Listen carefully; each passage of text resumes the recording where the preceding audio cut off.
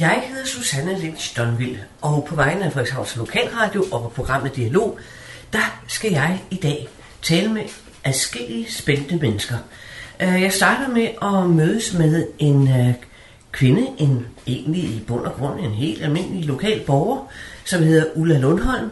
Øh, vi mødes hernede på, ja, lige nærheden af havnen ved Sæby, og så skal vi tale lidt sammen om det at være øh, tilflytter til Sæby fra Jørgen blandt andet, og om at flytte væk fra Sæby, og så komme tilbage igen og være her nu.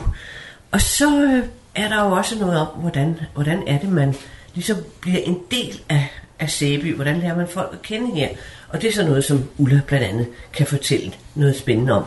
Og når vi har talt lidt med, med Ulla, eller når jeg har talt lidt med Ulla, så øh, bevæger vi os ned igennem Algade, ned til den gamle Røde Retsbygning, der hedder Retfærdigheden i dag, og hvor der foregår utrolig mange spændende ting. Øh, lige nu, så øh, skal jeg op og ringe på døren, sådan at Ulla og jeg kan begynde at tale lidt sammen, og så tror jeg, at vi går sammen derned. Jeg er på vej øh, over en græsplæne nede ved Sønderstranden i Sæby, mm. sammen med øh, Ulla, Ulla Lundholm, som har lovet at fortælle lidt om, hvordan det er at være borger i Sæby, og det har du heller ikke været hele tiden, men i øvrigt så velkommen, Ulla. Jo, tak skal du have, Susanne. Ja. ja. Hva, hvor længe har du boet her i Sæby? Ja, men boet og boet. Altså, jeg har haft mit bosted her i 10 år, men kun boet her fast i måske de fem af årene. Okay. Hvordan, ja. hvordan hænger det sammen? Ja, men det er jo når man, når man har hus to steder, og man har arbejde, og sådan, så kan det godt lade sig gøre det Ja. Hvad, hvad, hvad, hvad nu? Hvad skal der nu? Fordi du er jo du er gået hen og blevet pensionist. Ja, og det er da det bedste i verden, man kan blive. Ja. Både efterlønner og senere pensionist. Ja. Det har du, øh, det har du glæde af. Ja, men det kan man slet ikke rose nok. Nej. Og specielt jo da, når man er i fuld vigør og glad for livet. Ja. Så, og så er det rigtig dejligt at blive sebenit jo. Ja. Og det, det skal vi høre lidt om, øh, fordi det, det, det, det er du blevet nu. Ja, ja. Altså, du kommer oprindeligt fra Jørgen? Ja, jeg har arbejdet i Jørgen i 30-40 år. Jo, det er en, en helt livsalder. Men øh, de sidste øh, par år, jeg arbejder i Jørgen, der var jeg så blevet fast sebenyt her. Ja. Så den der skilning fra at være fastboende et sted, og så til pludselig at prøve at slå rødder et andet sted, som man overhovedet ikke har nogen tilknytning til. Det kan jo godt virke sådan lidt, uh, hmm, kan det nu komme til at gå, når man er kommet op i alderen og ikke har sit netværk omkring sig. Ja. Men uh, det må jeg godt nok sige, det er da en rigtig god ting at, at blive sebynit. Hvor, hvordan det, kan du forklare det? Fordi hvordan gør man det, når nu man er blevet pensionist, og man Ja, også mens du arbejdede jo stort set ikke var her ret meget, fordi du skulle sus frem og tilbage til Jørgen. Du ja. ja. på Jørgen sygehus, ikke også? Nej, afdelingssygeplejerske. Afdelingssygeplejerske, ja. okay. Ja. Det er også godt. Ja, ja, det er det skam da. Jamen, øh, hvis man har en, en hund, og man kommer ud og skal opleve naturen lidt, og så vil jeg da gerne sætte stor streg under naturen, fordi når først man er i den, så oplever man verden. Så kommer der mennesker, og der kommer andre hunde, og så falder man i snak, og så føler man sig velkommen, og så bliver man glad. Ja. Og det fylder dagen, eller timerne, eller minutterne, det er sådan set lige meget. Og så må vi jo konstatere, at vi har den mest fantastiske natur i hele området her omkring Sæby. Ja, Nordjylland i det hele taget. Nej, jeg tror også, der er rigtig mange dejlige steder her i Nordjylland. Men uh, det bliver dejligt, når man selv synes, det er dejligt at komme ud og være åben over for det, man ser. Og hvordan har du så... Altså, en ting er, ja, jeg er enig med dig, når man har hund, så har man en tendens til at møde folk, og så snakker man sammen hundsnak og ja. følelse lidt af det osv. Hvordan har du ja. ellers mødt mennesker her? Og ligesom blevet en del af, af Sæby og Sæbys bybillede? Jamen, så er der jo en uh, efterlønspensionistklub i Sæby. Så okay. den blev jeg medlem af med det samme og deltog i de arrangementer, der var deroppe. Øhm, der er rigtig mange mennesker, så det er måske ikke et sted, man sådan lige øh, får nye bekendtskaber, men så ser man, man, man kender de mennesker, der øh, går omkring i byen og der hører til i området. Ja. Og så, øhm, jamen, så blev jeg jo en, en del af huset, hvor, jeg, hvor vi nu øh, købt lejligheden her i Sæby. Med øh, specielt min underbo, som jeg har besøgt rigtig meget, og også senere øh, var med til at give en god dag en gang imellem. Ja. Og så er det jo så det, vi er på vej til lige nu med retfærdigheden her i byen. ja. Det, Det jo spændende at høre om. Ja, det var ikke noget, jeg kendte nogle ting til anden. Jeg kunne se, der var et rigtig flot hus dernede af, af Algade. Eller det er de jo i øvrigt alle sammen rigtig velholdte. Men øh, jeg vidste ikke, der foregik ting inde bag døren der. Og det tror jeg som end, der er mange af de faste borgere her i Sæby, der heller ikke rigtig ved, hvad der foregår inde bagved. Så det kommer du jo til at høre lidt mere om. Ja, og det vil, jeg, det vil jeg glæde mig rigtig meget til, fordi du har jo ligesom forberedt folkene nede i retfærdigheden øh, om, at vi kommer. Det er nemlig rigtigt, og ja. jeg rigtig, rigtig gerne vil høre en hel masse om, hvad retfærdigheden rent faktisk er, og hvad der foregår dernede. Ja. Øh, Og det vil de rigtig gerne fortælle dig. Ja.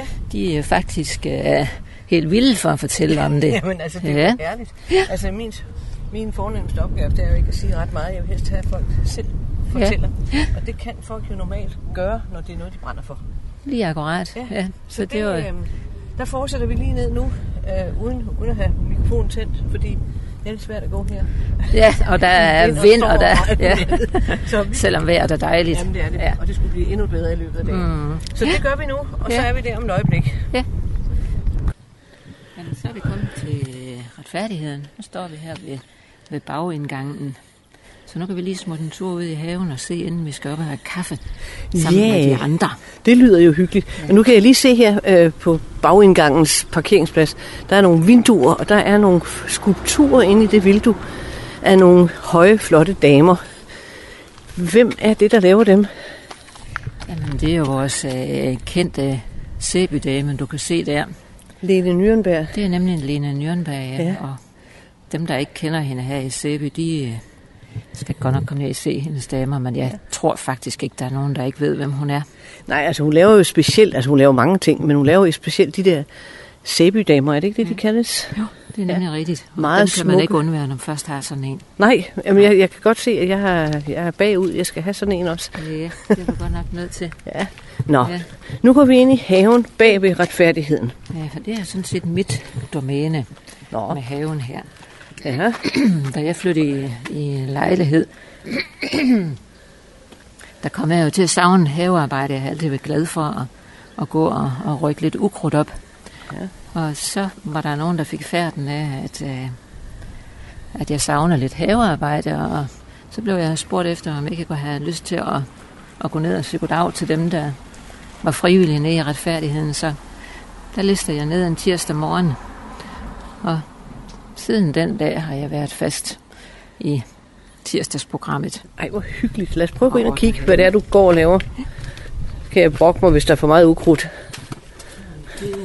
Det er bare et spørgsmål om tid. Nå, det er væk. det. okay. Goddag. Goddag. Susanne hedder jeg. Det er Lindborg. Lindgaard. Er du også havearbejder, medarbejder her? Ja, ja, ja, ja. Ja. Det er også det sørger for, at det hele det er lidt i orden herude. Det er omkring. Ja, Og det må jeg sige, det gør der. der har du ikke set det nej, nej, men jeg kan jo bare se ja. det her. Ja, ja. Der plejer at være sådan en masse ukrudt op af, af hegn og så videre. Det er der i hvert fald ikke her. Nej. Så jamen, så må vi da lettere gå ud og kigge på, på haven, inden Ja. vi går ind. Men øh, vi kommer op. Det er i orden. Ja, vi ses deroppe. Ja. Ej, hvor er her sødt. Det er jo en lille park. Jamen, det er det nemlig sådan en rigtig gammel have, og Ja, for søren da. bevaret det store æbletræ der med de knuder og grene. Ja, hvor hyggeligt. Det, Det er sådan et rigtigt børneklatretræ. Eller det var det i sin tid. Det er sådan et, jeg har klatret i. ja. Men det er nu ikke, fordi der er mange børn herinde. Ja. Nej. Det er de arrangementer, vi har her, det er mest for den, Den grå Den grå, aldersgruppe. Ja, det grå guld Ja, hedder det jo. lige ikke? Og hvad er det? Det er et flot egetræ, et stort. Men det, er Ja. jo ikke, det er jo ikke et gammelt egetræ. Synes du ikke? Nej, fordi gamle egetræ bliver jo meget større. Det der, det går hen og bliver enormt stort på et tidspunkt. Det er nu bare noget, jeg bilder mig ind, jeg ved. Nej, Men, jeg øh, kender heller ikke alderen på det. Jeg tror, Men øh, jeg altså, ved, det er hvor det. meget det smider ned på græsplænen. Ja, og det skal Det er du ikke fjerne. småting. Nej, Det er det ikke. nej, det, og så kommer der nye... Nej, det er ikke det. Det er buskene, der kommer ud i græsset. Ja. Hvem det- slår græs? Det gør Lindengård blandt andet. Hold da Jeg op. står for ukrudtet og er med til at, klippe buske og Ja. holde det lidt i ave. Og Lindengård tager græsset primært, og så hjælper vi ellers hinanden. Og får også lidt hjælp af de andre fra gruppen, når der skal rigtig tages fat. Ja. Og traileren skal fyldes gange flere. Der er mange Jo, for der er noget buske, hække, hække. og, ja, der skal klippes. Og de, de gror jo voldsomt. Hvad er der her om bagved? Hører det også til det, der er her om bagved? Ja, der har vi vores ting og vores sager i et lille skur. Ja. et lille skur, som ikke rigtig ligner nogen ting, men det regner vi med, at det kommer til her i løbet af efteråret. Så har vi en plan om at, at få det til at se lidt pænere ud hernede. Okay. Ja. Nå, ja, men det her, det er i, i princippet, det her det er offentligt tilgængeligt. Ja, det er det. Så alle kan gå ind her på i haven her. Ja. Hvor hyggeligt, og en flagstang og det hele. Ja, ja. Det hører sig til. ja. Med flag, den tid er. Og nu går vi sammen på den anden side. Det Er det der, vi går ind? Ja, både og. Nu kan du lige... Nej, det kan du ikke engang. Der er låst ind til vores gårdhave. Aha,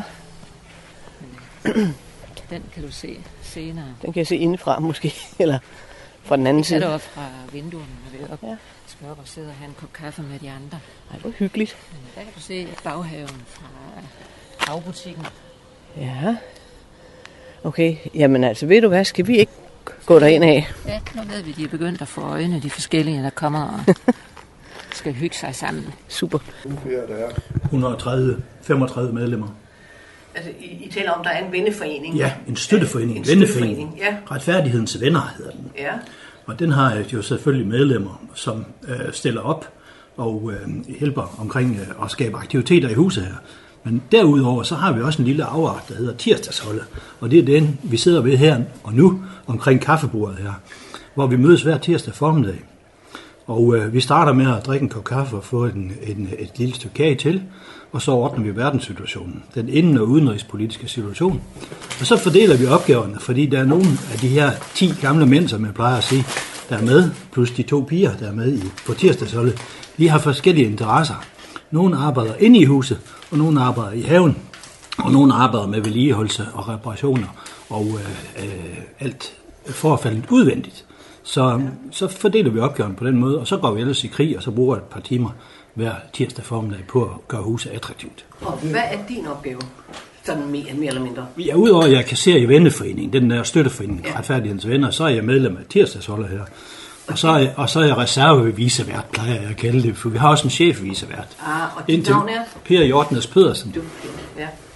Og så er, det jo, så er det jo faktisk en fantastisk, nu Per siger det der, oplevelse, fordi altså, de, vi er sådan 10 stykker, der møder her, ud af de der 130, som Per nævner. Og en af oplevelserne, det er, at vi repræsenterer jo et, hver især forskellige, øh, forskellige professioner i samfundet.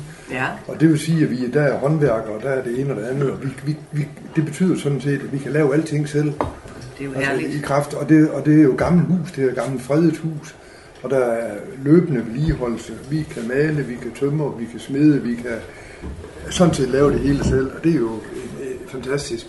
Og det er også for os, der, der mødtes her, som jo ikke kendte hinanden før, der er det jo også en fantastisk positiv oplevelse. Øh, som man kan sige, udover at vi, vi kommer her og laver et eller andet til gavn for huset og til forhåbentlig til det samfund, vi er i, så får vi selv en masse ud af det rent socialt også. Jamen det kan jeg jo se, det er jo, det er jo, det er jo ren hygge, det her. Det er råhyggeligt. Det er det. Må jeg ikke bede om dit navn? Jeg hedder Carsten Thorn. Og hvad er din funktion her mest? Øh, jeg er sådan set, øh, jeg, jeg er den, der egentlig tager mig af huset som helhed. Altså, øh, jeg er en del. Altså, huset er i sin tid øh, et blevet dannet som et aktieselskab, da vi skulle stifte huset. og skulle, kapital, skulle skaffe, skaffe kapital til huset. Altså til retfærdigheden. Til retfærdigheden, Ja, ja. ja. ja. Og der var jeg en del af, af, af de tre personer, en af de tre personer, der var med til at stifte huset. Og det er ligesom hængt ved, så på den måde, jeg kan man sige, jeg er en form for administrator af huset. I rent praktisk. Så har vi en, en advokat, som også var med fra starten, og han tager sig af det øh, administrative. Ja. Okay. Han er her ikke i dag. Nej, han er ikke i dag. Han er ikke en del af det, der hedder tirsdagsholdet. Oh, nej. Okay. Men, men, men det er ikke sådan, at, at der er nogen, der, der går og bestemmer og, og ordner. Det er jo noget af det, der også er fantastisk. At alle tager ansvar for tingene. Og det hænger ikke på nogle enkelte personer. Og der er ikke nogen enkelte personer, der bestemmer. Vi snakker om tingene og løser tingene i fællesskab. Altså nu synes jeg, det er jo vældig interessant at høre det her, men hvad er retfærdigheden? Hvad er det, der gør, at I har sådan et tirsdagshold og et, i det hele taget et, et hold, som står for at få det her hus til at fungere? For det er vel primært på frivillig basis? Eller hvordan er det? Altså, der skal vi nok, der skal vi jo så nok starte ved begyndelsen. Øh, altså, huset her er fra øh, 1848, og det er, bygget som øh, råds- og tingbygning, som det hed dengang. Og det vil så sige, at der var en, øh, øh, altså det daværende politi, og man havde byråd her. Og det hed herres, altså politiet hed Herresfod dengang, som holdt til i bygningen, og der var rest i bygningen også.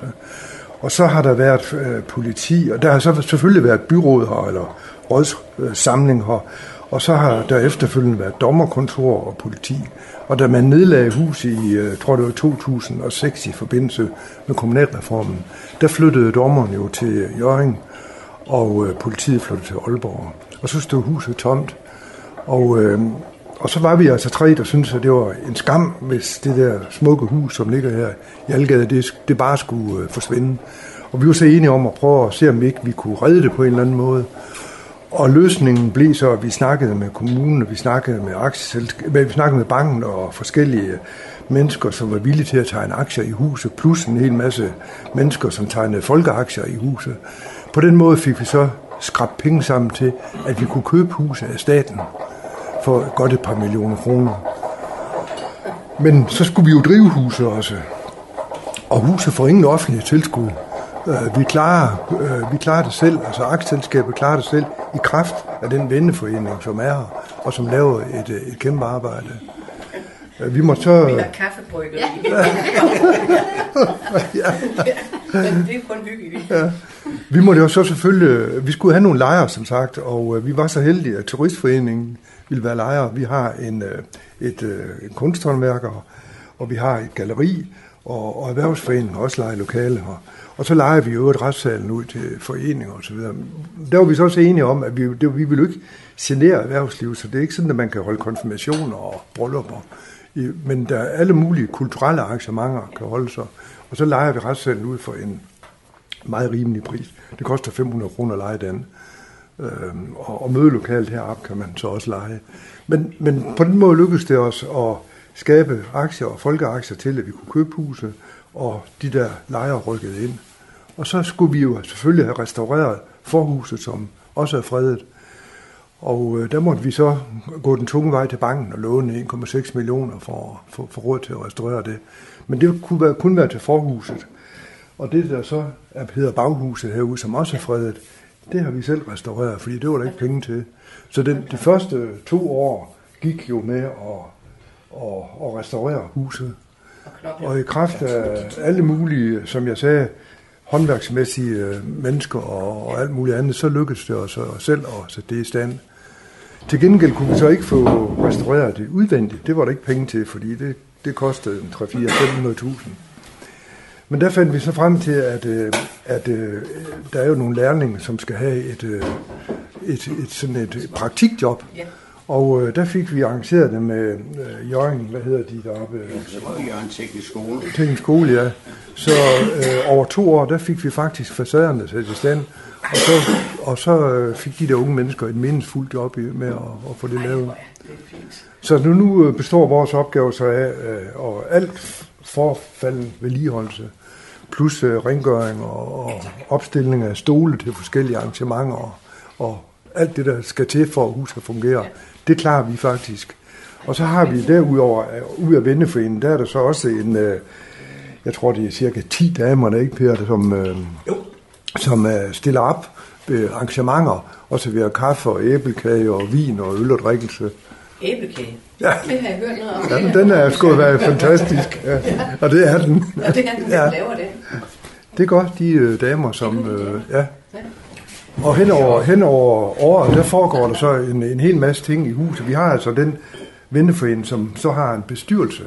Og de er, de er fremragende. De øh, laver super arrangementer, som, hvad er der, 10 stykker hen over året. Øh, mindst Ja, det er det hver halvår. hver halvår. Hver halvår, ja. Jeg tror, der er en 12-15 stykker her i efteråret fra, fra, fra midt i august og så frem efter. Altså arrangementer. arrangementer, Ja. ja. så, hvor vi bruger øh, fællesarealerne hernede, retssalen og den slags Ja. ting her til arrangementer. Hvad er det for en type arrangementer så? Det er alt muligt. Det er, lige, fra- det er lige fra, at vi har en bogaften i, i samarbejde med biblioteksvæsenet, hvor de kommer og fortæller om de sidste nye bøger og anbefaler folk, øh, bøger, til, øh, som folk bør læse. Og, øh, og så er det til, øh, så er vi øh, koblet op på øh, Aarhus Universitet, hvor vi streamer øh, nogle, øh, nogle foredrag om forskellige øh, øh, aktuelle emner. Øh, det, det, det, det, er en, det, det er en stor artikel, altså, hvor det er Danmarks største foredrag, for at se rent ud, fordi der er jo hundredvis af foreninger over det ganske land, plus i øh, Færøerne og Island, der er med, og som, øh, som ser på de her foredrag, og, som, og det er alt muligt fancy, lige fra, fra hvad vi som mennesker består af, og til øh, den sidste nye teknologi, øh, forskning inden for kraftbekæmpelse og alt muligt. Så, og dem har vi en 4-5 stykker af her i efteråret også, ligesom vi har haft i foråret.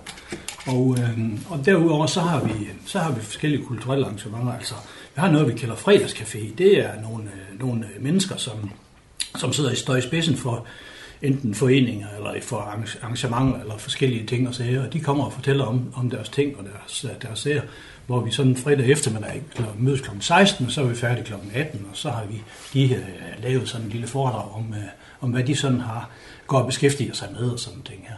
Og øh, så har vi en lille pause, hvor vi som sagt får en kop kaffe, og så får vi den berømte øh, æblekage. Æblekage. Og det er, det er æbler, vi, er- vi, vi selv øh, finder ude hos, i vores private haver, som vi i bestyrelsen i Venneforeningen skræller og gør klar.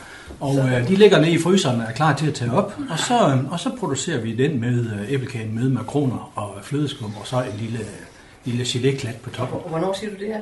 Ja, vi, øh, jeg kan fortælle dig, at øh, allerede i eftermiddag, der kommer der nogle bier og, og laver nogle to fra Venneforeningens bestyrelse, fordi der er et marked herude i gården i eftermiddag. Okay. Og der vil, være, der vil, der vil der være øh, to, der producerer, øh, laver kaffe, og så producerer den der berømte æblekage til salg for 30 kroner. Sådan et sæt for 30 kroner, det er Jamen, billigt. Altså, det er jo næsten ikke Det er til- billigt. Det er jo en foræring nærmest. Ja, vi skal understrege, at de arrangementer, der holdes, det er ikke kun for medlemmer. Huset er åbent for alle. Og, og, og vi ser jo selvfølgelig rigtig gerne, at, at både at folk kommer til de arrangementer, Yes. men også, at hvis man er interesseret i at, at støtte huset, det koster, det koster 100 kroner om året at være medlem af, af Venneforeningen, som jo er en støtteforening til huset. Det er altså folk, som synes, det er en god idé at bevare det her hus som den kulturelle institution, det er. det kan kan man jo sig ind øh, i venneforeningen, og hvis ikke man vil det, kan man alligevel komme til arrangementerne. Fornemt. Vi får ikke glemme grundlovsfesten. Grundlovsfest. Grundlovsfesten skal vi huske også at nævne. Den holder vi herude i haven. Ja. Og hvad foregår der der sådan specifikt? Altså? Der, er en, der kommer en foredragsholder, eller en, der holder en taler, og, og for, vi har et dis, øh, sådan en slags øh, panel, der, hvor vi diskuterer, diskuterer øh, hvad der skal ske her omkring og alt det der, som man nu gør ved en grundlovsfest. Ja. Og, og er du en- engageret specifikt i det? Vi er alle sammen engageret i det, fordi vi skal jo stille det op. Ja. Vi har noget med et telt, der skal stå derude, og, og bord og bænke, der skal til, og sådan noget. Det er jo kræver lidt arbejde, men det gør vi hver gang. ja. Må jeg bede bede om dit navn også? Det er Karl Emil Garde. Og du laver primært hvad her? I Ja, det er mest, øh, mest øh, håndværksmæssigt træværk og alt sådan noget, det går jeg meget op i. Han er træmand. I øjeblikket, og i øjeblikket skal jeg ned og male vores hoveddør, for den øh, står lige for at få det sidste lag af olie, så nu bliver den rigtig flot igen. Og det bliver også mindre nu, når solen har stået på. Det, det gør det, ja. Og jeg må indrømme, jeg må indrømme, altså, jeg, jeg prøver lidt med lidt frem. Nu her er jo piskeri, så det er Ja, på... ja. Øh, Men den kan godt køre med lav hastighed. Ja, det, Ellers så det gjorde han Det også. fylder det lige meget. til Olo. Ja. Hvis vi så, hvis vi så skal piske lidt, ja. så skal vi måske snakke om, hvor, hvor, hvor er vi henne, øh, og hvad mangler vi? Vi mangler soklet. Yes. Og så har vi jo, og det skal vi så tale, tale om, hvad vores ambition skal være. Fordi vi har jo et hus, vi skal have bygget hernede. Ja. Det regner jeg med, at vi skal... Det, det regner jeg selv med, at vi starter på i, i september. Ja, lige nok. Og så er vi også, så er vi også færdige med sokkel og hus. Malerarbejde, det har vi ud over den sokkel. Så har vi jo gården hernede, når vi Ja. kigger ud på Kåres mur, ikke? Ja. Øh, og Den ellers så rundt i gården, der er næsten ingenting. Nej, Øh, Det ved ikke, om du har taget der ind under turistforeningens vinduer. Der kan være en lille smule.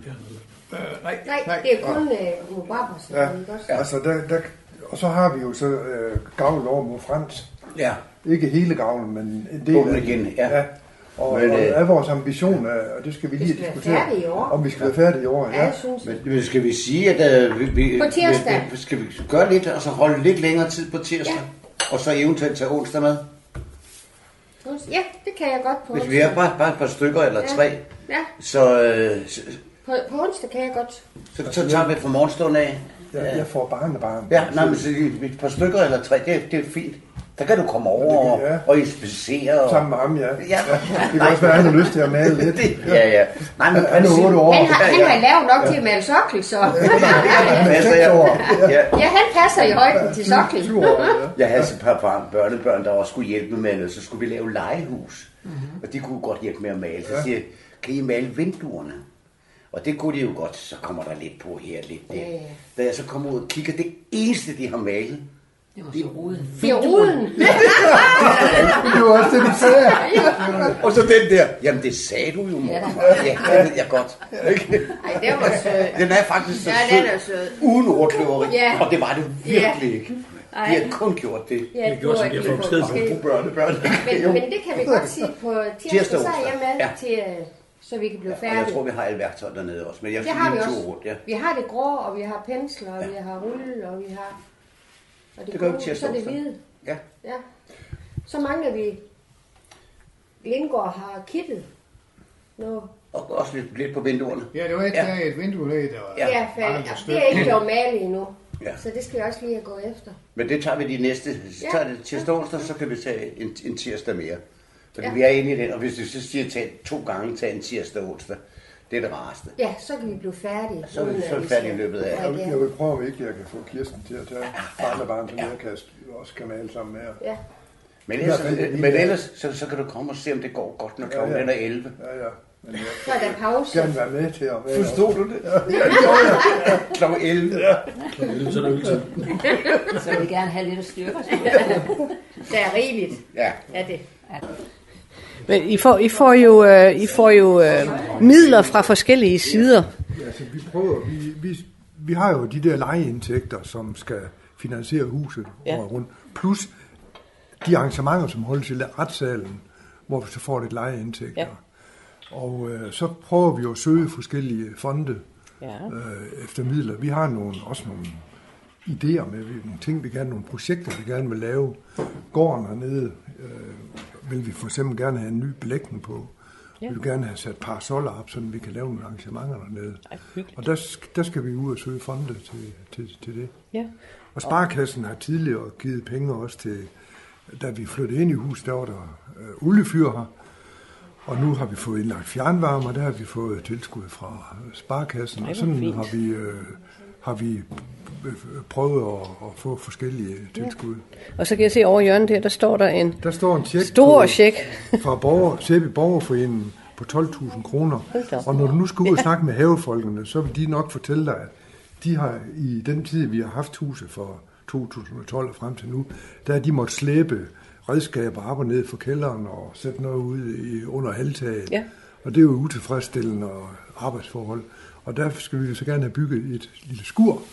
Og det er Ah, det, et lille vi har fået, det, ja, det er Ja. det, vi har fået penge til. Ej, igen, fint. igen så er vi jo begunstiget af alle de håndværker, vi har, så vi kan jo selv lave arbejde. Ja. Men I er bare afhængige af at få noget, nogle midler udefra Ja. på, på forskellige vis. Ja, Ja, hvor er det fint, ja. Så hvis der skulle være nogen af dine lyttere, der har lyst til sådan at, at, at støtte... og Jamen, det tage kunne jo lidt, meget vel være. Det Ja, kunne ja, meget vel til, være. øh, og måske med et eller andet specifikt ting, man har lyst til at forsyne os med, så skal man være meget velkommen. Ved du hvad? Det er hermed videregivet. Det er godt. Ja. Arrangement nede i eftermiddag.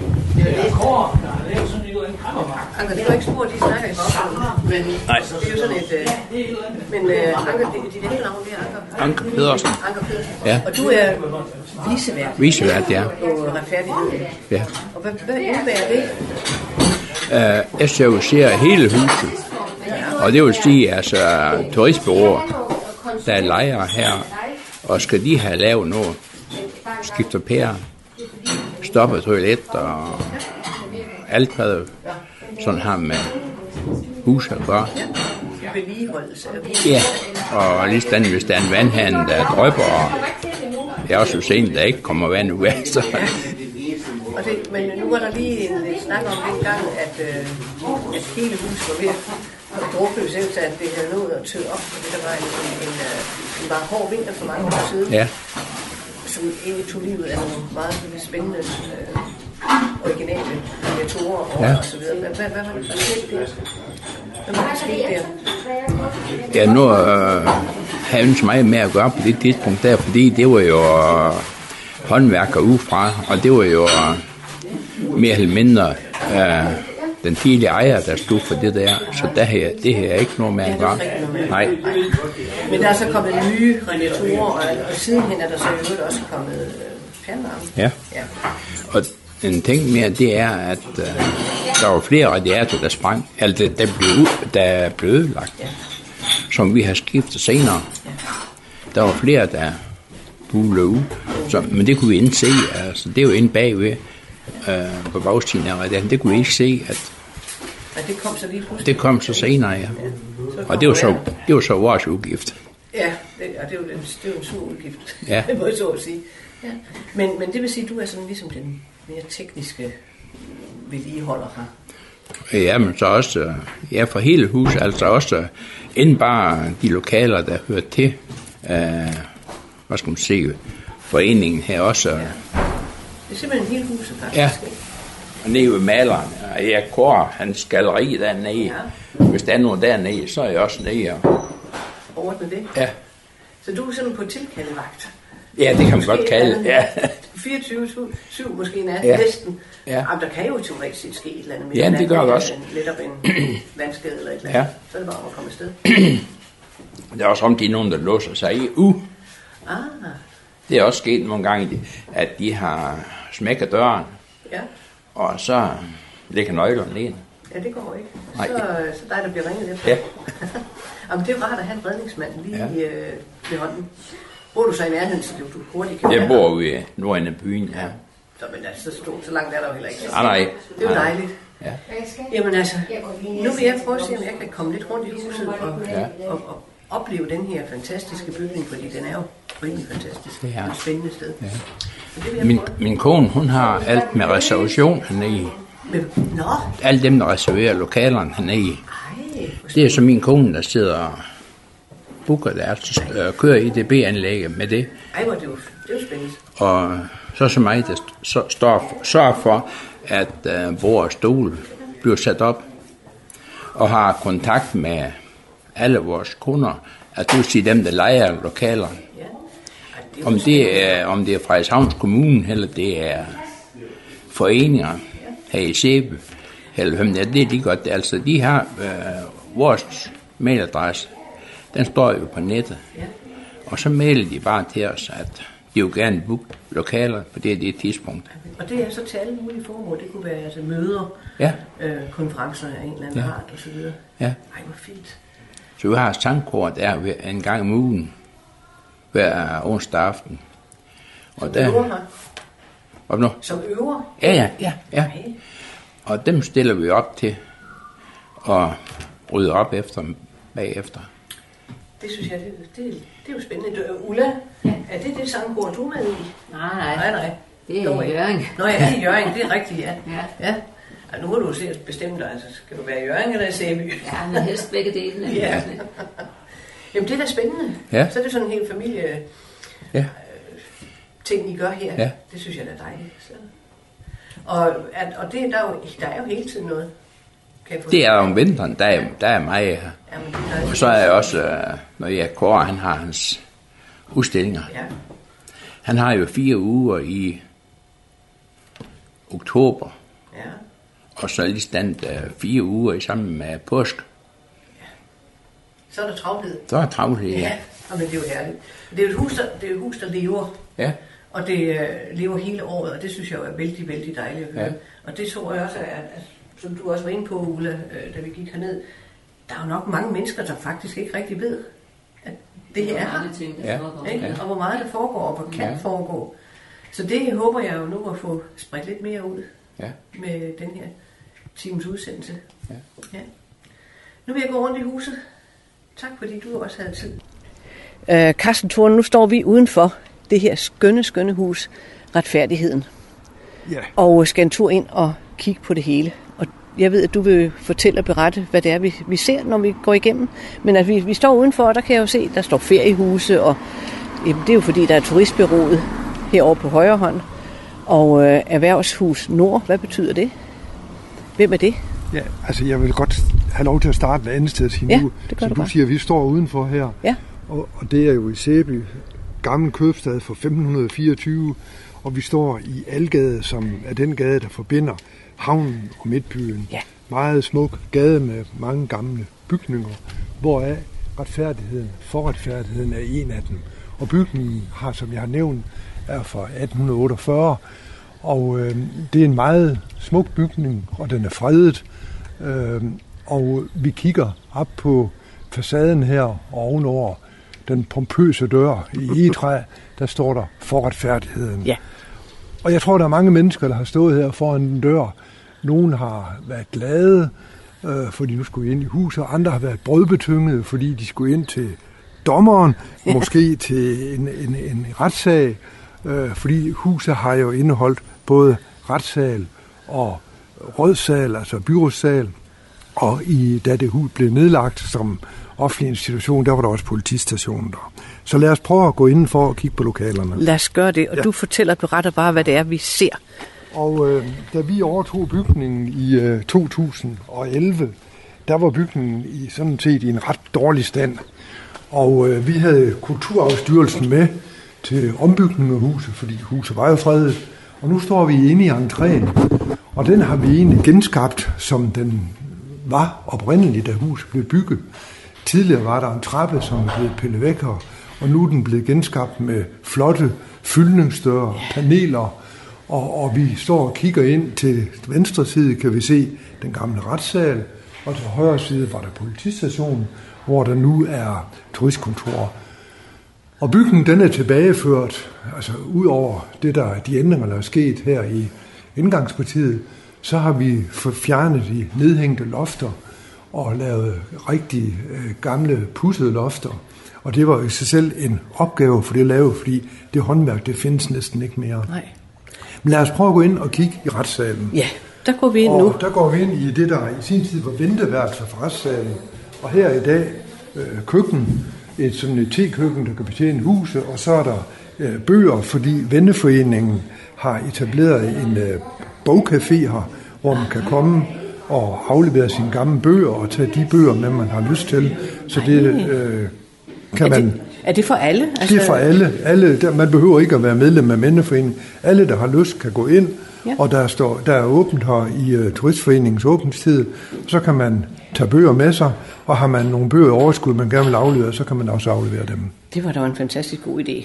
Og videre ind af retssalen, og der går vi igennem nogle to flotte fløjdøre, hvor der i sin tid var dobbeltdøre, for når man sad herude, måske som vidne, og der foregik en retssag i venteværelset, så måtte man jo ikke kunne høre, hvad der skete Nej. derinde. Så det er nogle tykke døre.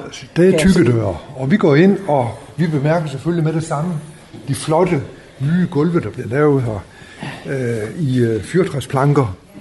Og det er jo et dejligt stort lokale, som er bygget helt om, øh, men der er ikke øh, egentlig spor tilbage i retssalen, fordi dommeren sad jo ikke i øjenhøjde med folk. Han sad på et lille ophøjet panel, og øh, bag ved panelet, eller der bag ved den øh, ophøjning, der var et øh, voterværelse, hvor dommeren og domsmændene kunne trække sig tilbage i og øh, tale om, hvordan man nu den dom skulle falde ud. Og det, i det lokale har vi lagt sammen med retssalen og lavet til en lille scene. Ja, det kan jeg se, der med- et lille klaver deroppe, eller? Ja, Ja. og det er fordi LUF, de har sangkor som ah. kommer i løbet af vintersæsonen. Der kommer de hver uge og har, har sange. Der foregår mange, spændende. mange ting i retssalen, som vi har talt om tidligere.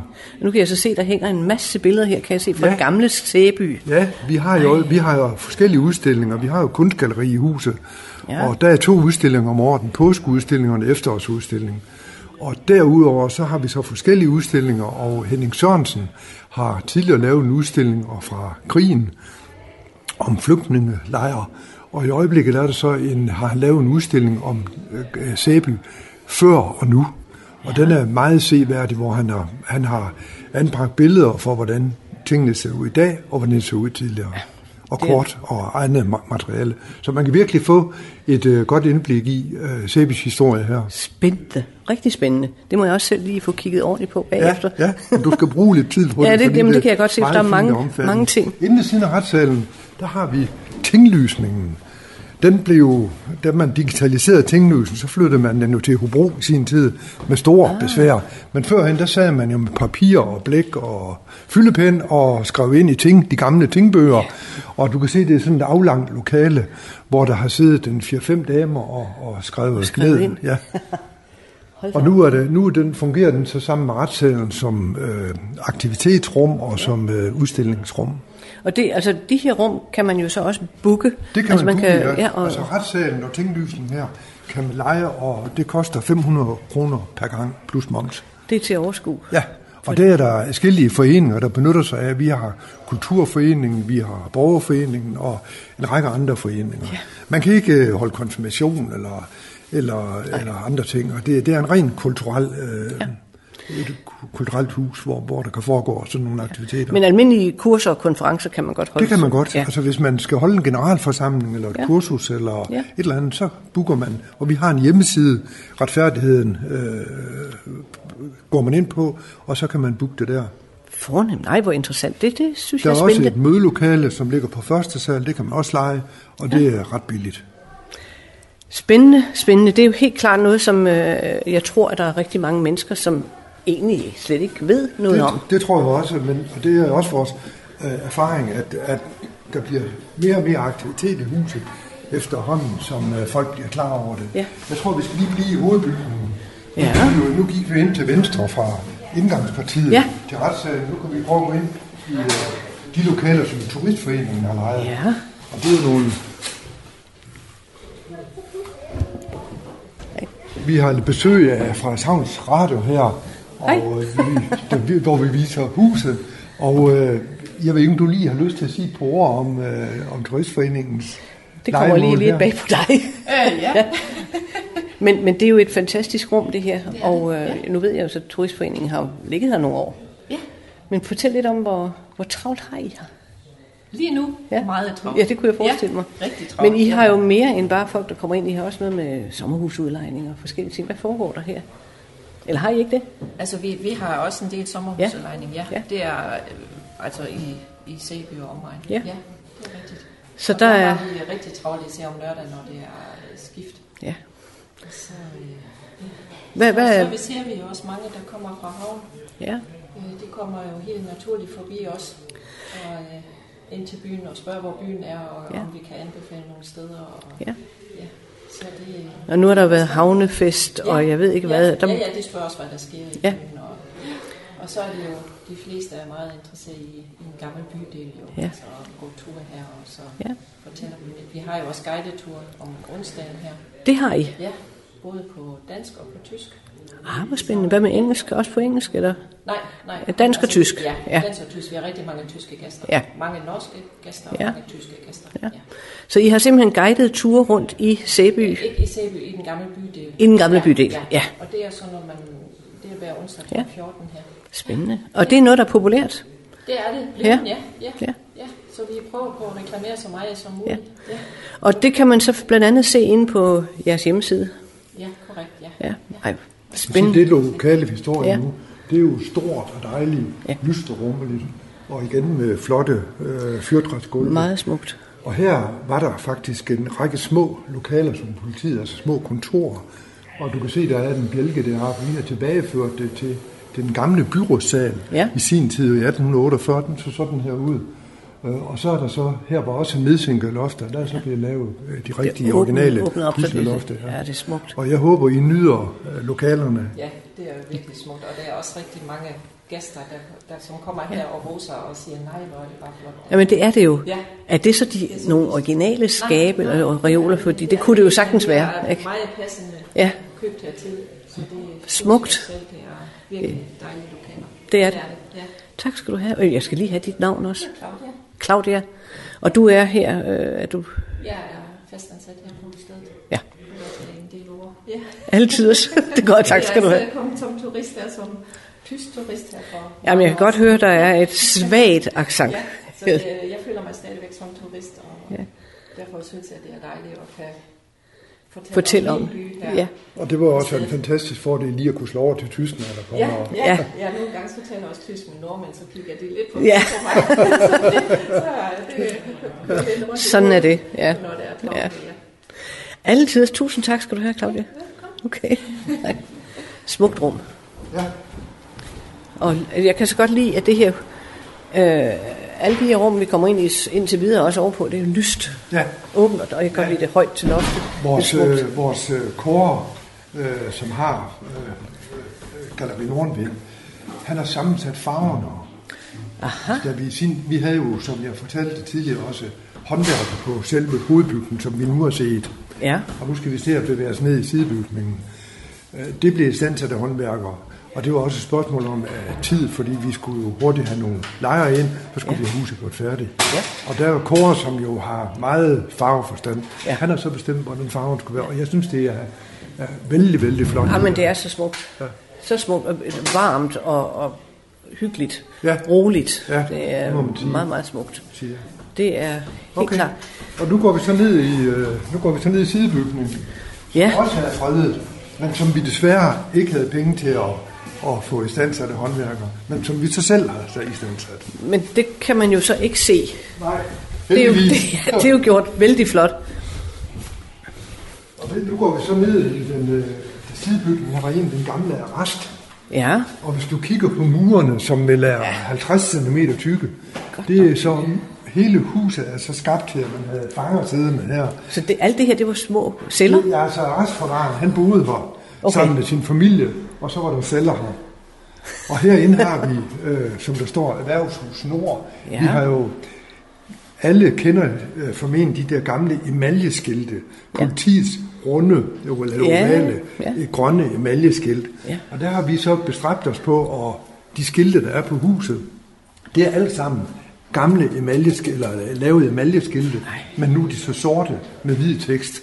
Og det har vi gjort os stor umage for, at det skulle... Men det, og, og det, det passer jo 100%. Ja, Ja, Sådan ja. skal det jo næsten bare være. Og der har Værhus ja. Nord, de har så kontorer. De har kontor derinde. Og de, der, er ikke, der er ikke bemanding hele tiden, men der er til folk, og, Ja. og Erhvervshuset holder også møder ind i retssalen. Okay. Ja, spændende. Og så har vi et toilet, som bliver toilet. brugt som et, øh, et øh, offentligt toilet. Det skal Ja. der være i forbindelse med turistkontoret. Ja, det skal der. Det har vi så påtaget os at holde. Nå, det har I. Foreningen, ja. Okay. Hvem er den herre, der, der hænger her? Det En er meget statlig herre. Ja, By og herresfod. Henry Christian Gad. ja. Og han var Og han var politimester og dommer. Det var man så dengang. Aha. Han Det var en, en, en meget... Det billede har en lidt sjov historie. Fordi da dommeren, det har altid hængt inde i retssalen. Ja. Og det hang bag ved dommeren, dommer Niels Skovby. Og da han skulle flytte til Jørgen i sin tid, i forbindelse med reformen, der sagde han, det billede der, det vil jeg have med mig. Ja. Fordi det har altid hængt derinde. Ja. Så det blev hængt i retten i Jørgen.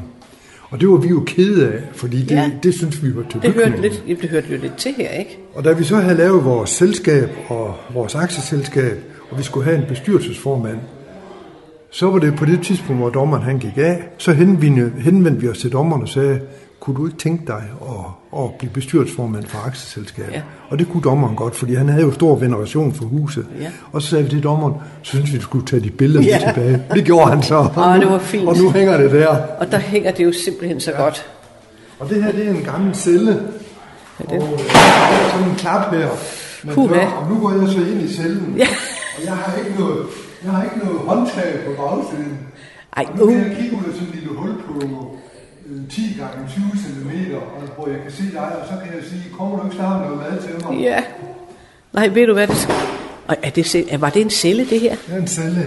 Hold nu lige op, der var Og ikke meget plads. større, fordi der er sat en, en mur op her. Nå, nå, okay. Og nu bruger vi den så til øh, bøger. Der er bøger en massevis, og der der kan man så komme og hente de bøger, man har lyst til. Det er lige ved, man næsten ikke tør gå derind og sætte sig.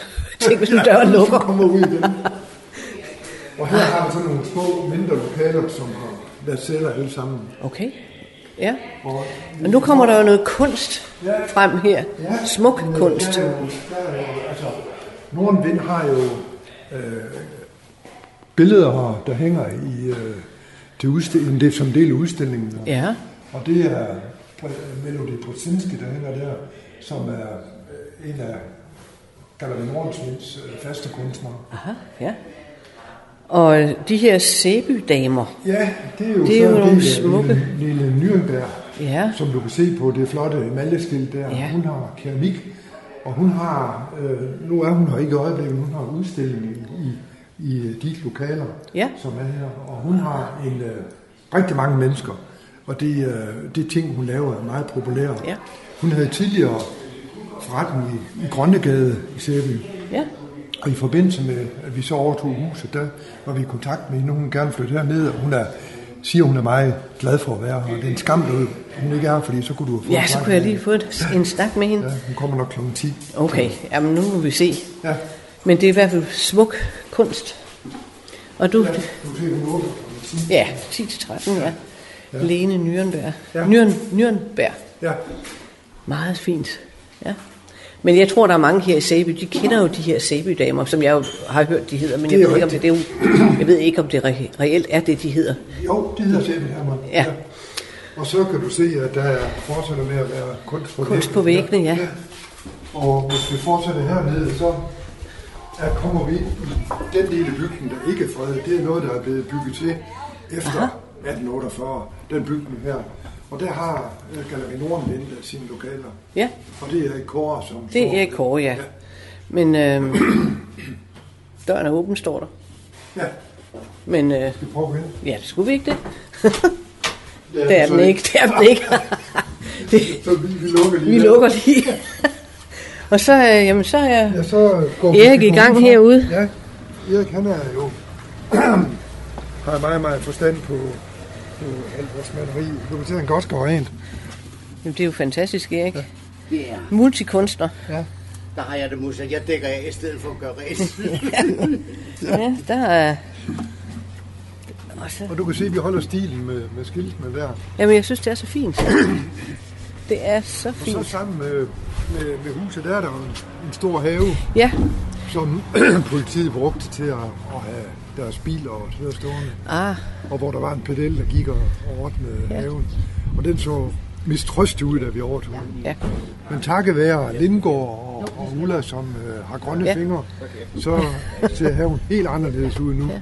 Jamen, øh, Synes jeg, måske du kunne gå en tur jamen, jeg har ud. faktisk været derude. Vi Okay. startede der. Der Okay. kommer øh, Kåre, øh, hvad hedder Kåre, ja. Ja. Du var lidt heldig. Ja, Hej Kåre. goddag. Har besøg af fra Savntradio her, som kan høre noget om huset. Ja, okay. Kan du Må ikke jeg- fortælle lidt om dit gebet her, og din andel af huset? Og din... Jamen, jeg har bare til leje. Ja, Bare! Ja. men bare er det vist ikke helt. Nej, Nej, men, men øh, Finder I ud af det? det gør vi lige. Tak skal du have. Carsten. Jamen, øh, hvis du ikke har noget imod det, øh, altså jeg behøver, vi behøver ikke at stå her. Jeg vil da meget gerne kigge ind. Ja. Så. Jeg kan starte med at fortælle, at jeg slet ikke er her i dag. Og du er her ikke. Nej. Så det, det er simpelthen, øh, vi lader bare som om, at du ikke er her. Men, Men taler sammen alligevel. Mandag tirsdag er du her ikke? der, der prøver jeg at holde Men i dag, så laver vi et marked. Nej. Jo, så derfor så, så er jeg her. Og jeg lige spørger, hvornår starter det over i gården? Jamen, det, vi er blevet enige om at lave det inden, Nå, fordi så kan øh, hvad hedder damerne, så kan de bedre lave kaffe og sådan noget til okay, men hvornår starter det inden så? klokken et. Godt. Kom, kom og se. Du skal faktisk se. Marked i dag. Today. Ja, men det kan jeg jo ikke se, når jeg står derude.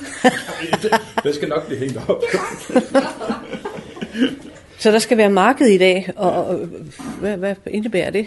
Nej, ikke, ikke andet end øh, en gang imellem, så skal man lave noget, som, som man ikke har prøvet før. Ja. Og, er det ikke sådan hele livet? Jo, ellers, er- jamen, det skal man jo, for ja. det er jo det, der gør livet spændende. Ja, at prøve noget nyt og spændende en gang imellem. Men det her, det er jo, hold da op, der er jo mange ting her. Jamen altså, øh, Nej, ja, det er jeg nødt til, fordi jeg var her Ja. for et stykke tid siden. Ja. Ikke så længe siden. Og der kom vi ned den anden, inden jeg var sammen med en veninde. Og så sagde du, kom lige her. Ja. Og så tog du os hen til den her seddel. Ja, nemlig. Fordi du ikke gider at svare på spørgsmål, måske hele tiden. Nej, nej, nej jeg, jeg vil gerne svare på spørgsmål, men, men der er sådan 10-12 spørgsmål, som jeg har svaret på så mange gange, så jeg tænkte, det kan, nu kan jeg lige så godt... Øh, Ja. Ja. Må jeg læse den op? Ja. Der står her, velkommen til Galeri Nordenvind. Her er svar på de mest stillede spørgsmål. Nej, det er ikke mig, der har lavet billederne. Dette er et galleri. Også selvom gal- galleristen har forklæde på og pensel i hånden, så rammer han bare ind, han er ikke kunstner. Folk, der kalder deres værksted for et galleri, er som regel amatører, der ikke kan komme ind på et rigtigt galleri, eller på rigtige gallerier. Ja, galleristen rammer ind. Ja, galleristen laver udstillinger. Ja, galleristen laver bøger om kunst og kunstnere. Og nej, dette sted er ikke ejet af kommunen. Og nej, vi får ikke statens kunstfond. Det er kun meget få kunstnere forundt. Ja, man kan købe kunsten. Og nej, billederne fås ikke i andre farver. Og man må ikke kigge lidt, men kigge rigtig meget. Ja. Så er, er det ikke så enkelt? så er det så simpelt, som det kan være. Så, og derefter, så kan vi begynde at... Så kan vi begynde at tale Ja. sammen, ikke? Men der er jo sindssygt meget at kigge på her. Jamen, øh, så, sådan skal det være. Ja. Altså, øhm, fordi man kan sige, at livet og, og kunsten, de, de, det ligner hinanden. Det, er ikke kun én ting. Nej. Og i én retning. Nej. Øh, kunst, det, det er jo det, der strider. Ja. Og, og det er også derfor, det er interessant. Mm-hmm. Lige så snart du har fod på det, og du mener, du har styr på det hele, så er det ikke kunst mere. Nej, men så, er det jo, så går det jo hen og bliver kedeligt.